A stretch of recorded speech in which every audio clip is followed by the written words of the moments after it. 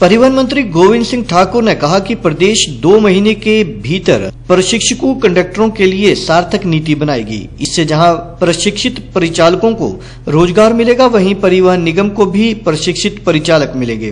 परिवहन मंत्री ने आईजीएमसी में प्रशिक्षकों, डॉक्टरों की हड़ताल को समाप्त करने के बाद ये बात कही।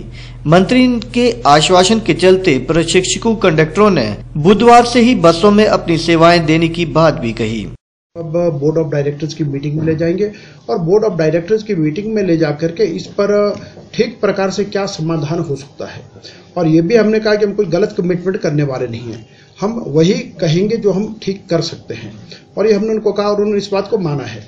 और हमने ये भी कहा है कि भाई जो लोग तो कहीं ना कहीं कुछ गलत काम में पाए गए, उन लोगों के प्रति हमारी कोई संवेदना नहीं है।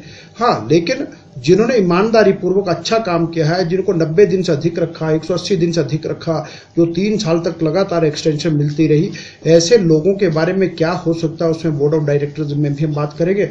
और यदि आवश्यकता हुई तो अपने कैबिनेट में जाकर भी इस पर चर्चा करेंगे। और उन्हें सारी बात मानते हुए हमको कहा और फिर हमने ये कहा कि एक तो जो लोग इन दिनों जिनका ट्रेनिंग पीरियड कोई दस दिन का रहा, कोई पंद्रह दिन का रहा तो हमारे टीएमपीए लगने के बाद भी उनका पूरा ट्रेनिंग पीरियड हो उसको हम कंप्लीट करेंगे। बीच में ढाई महीने ट्रेनिंग से पहले नहीं निकालेंगे ट्रेनिंग पीरियड उनको कंप्लीट देंगे।